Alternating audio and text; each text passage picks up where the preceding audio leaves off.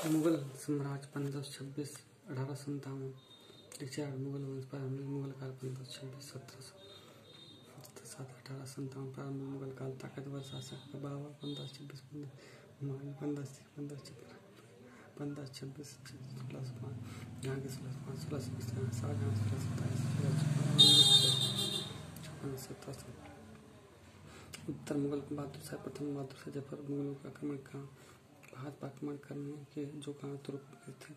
वही काम मुगलों के थे। आर्थिक काम राजनीतिक धर्म जैरुद्दीन बाबर, पंद्रह छप्पन दस बाबर का जन्म, चौदह फरवरी चौदह सौ तिरासी को फरगना अफ़गानिस्तान नामक स्थान पर हुआ।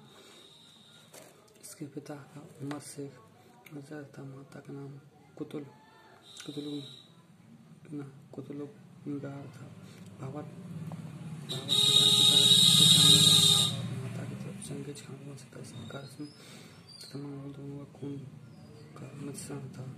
बाबर ग्यारह वर्ष का चौदह सौ गद्दी पर सबसे पहले राहुल बरकार कर लिए बाबर ने जिस समय भारत पर हमला किया था तो उस समय भारत छोटे छोटे राज्य कई राज्यों में बटा था। बाबर ने अपनी आत्मकथा बाबर नाम में भारत के पाँच मुसलमान शासकों तथा दो हिंदू शासकों का वर्णन किया। ऐसा कथा में बाबर ने विजयनगर के शासक कृष्णदेवराय को सबसे शक्तिशाली शासक माना है बाबर ने बाबर नामक तुर्कों में, तुर्की में लिखा और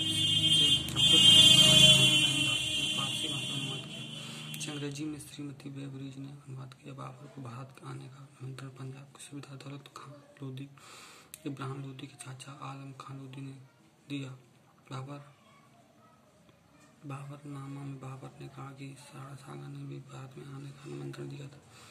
बाबर ने पानीपत के युद्ध से पहले चार बार भारत पर आक्रमण किया। पानीपत का आक्रमण पांचवा था। बाबर ने भारत पर पहला आक्रमण पंद्रह सौ उन्नीस में भदौर में किया घेरा किला को जीत लिया। इसी समय बाबर ने पहली बार तोपों को का उपयोग किया। पानीपत का पहला युद्ध कई सफल पंद्रह सौ छब्बीस को ब्राह्मण था बाबर के बीच हुआ था। इस युद्ध के बाद बाबर ने काबुल के प्रत्येक नागरिक को एक चांदी का सिक्का दान में दिया। अपनी इस उदारता के कारण बाबर को कलंदर उदार कहा गया। खानवा आगरा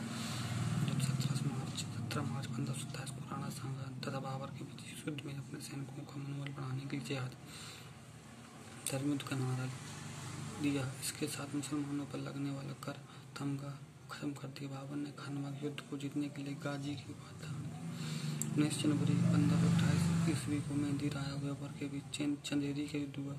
मेदनी राय और बाबर के बीच चंदेरी का युद्ध हुआ। छह मई पंद्रह सौ उनतीस ईस्वी को घाघरा का युद्ध हुआ। बाबर और अफगानों के पहला ऐसा युद्ध था जो जल में लड़ा गया। बाबर के विषय में कहा जाता है, विषय में कहा जाता है कि बाबर के विषय में कहा जाता है कि ये एक त्यौहार, ये एक त्यौहार एक जगह पर नहीं मनाता था। बाबर ने आगरा के आराम आराम बाग राम बाग था नूर, अफगान को लगवाया। बाबर को पहली बार आगरा के आराम बाग में दफनाया गया। फिर बाबर की पत्नी द्वारा काबुल में दफनाया गया। बाबर ने सड़कों को नापने के लिए गज बाबरी। नाम से वह मानी किया अपने मोबाइल नाम से